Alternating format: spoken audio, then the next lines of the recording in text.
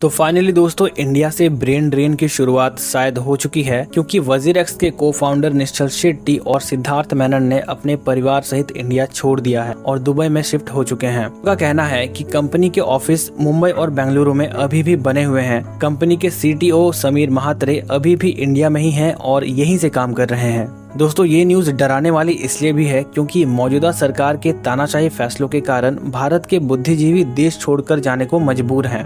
भारत में क्रिप्टो की कमर तोड़ने का जो निर्णय भारत सरकार ने लिया है, उससे छोटे क्रिप्टो निवेशक सहित यंग आंट्रप्रनोर्स कभी ग्रो नहीं कर पाएँगे दोस्तों, जब सारी डेवलप्ड कंट्रीज़ फ्यूचर को अडॉप्ट करने में लगी है तो क्या हमारा देश भारत इतना ज़्यादा अंडर डेवलप है की वो फ्यूचर के बारे में सोच भी नहीं पा रहा जहाँ बड़े बड़े देश इस टेक्नोलॉजी को अपनाने के बारे में सोच रहे हैं अपनी इकोनॉमी को बढ़ाने के बारे में सोच रहे हैं। वहीं हमारे देश की सरकार इस टेक्नोलॉजी से दूर भाग रही है। हमारी गवर्नमेंट को शायद इकोनॉमिक ग्रोथ से ज़्यादा वोट ग्रोथ से मतलब है, या फिर शायद गवर्नमेंट नहीं चाहती कि इंडिया में अमीरों की संख्या बढ़े, क्योंकि गरीब इंसान को कंट्रोल करना ज़्यादा आसान होता है। आपकी राय क्या है? कमेंट करके ज़रूर बताना। साथ ही वीडियो पसंद आए हो तो प्लीज़ लाइक और चैनल को सब्सक्राइब कर देना। मिलते हैं नेक्स्ट वीडियो में। Thank you so much